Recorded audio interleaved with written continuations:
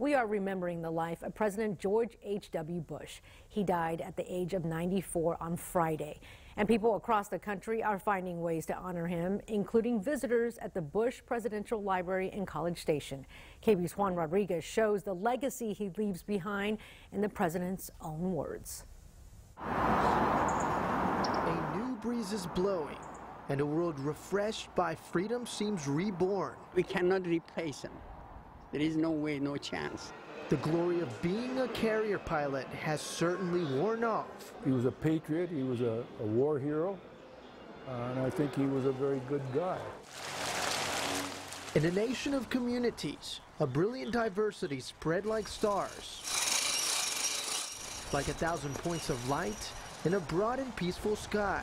We talked about if everybody would be a bright, shining light.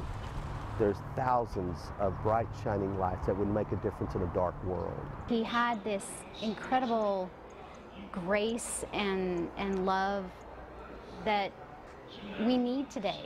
We as people have such a purpose. We can come together for a great man, a true American hero who was a gentle, uh, man that would listen. He's a really good man with high moral character, showing us how we should adore our family and our friends and our country all rolled up into one. To make kinder the face of the nation. He is a man that shows us how to love our spouse, how he would mention Barbara when he was speaking, his children, his, he could weave the American story into the fabric of family.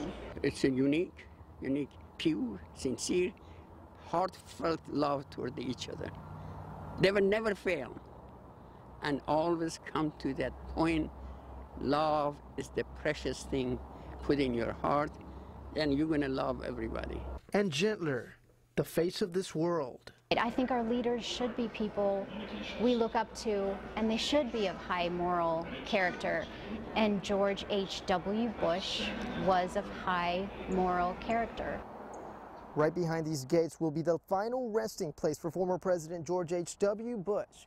He will lie alongside his wife Barbara and his daughter Robin. It's a life well lived, many people described powered by everlasting love. Reporting in College Station, I'm Juan Rodriguez. Back to you.